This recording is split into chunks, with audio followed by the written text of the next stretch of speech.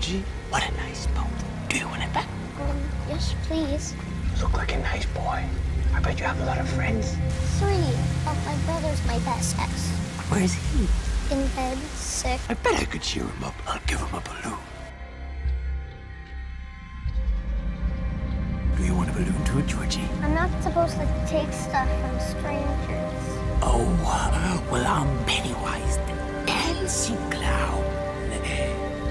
Pennywise? Yes, meet Georgie. Georgie, meet Pennywise. now we aren't strangers, are we?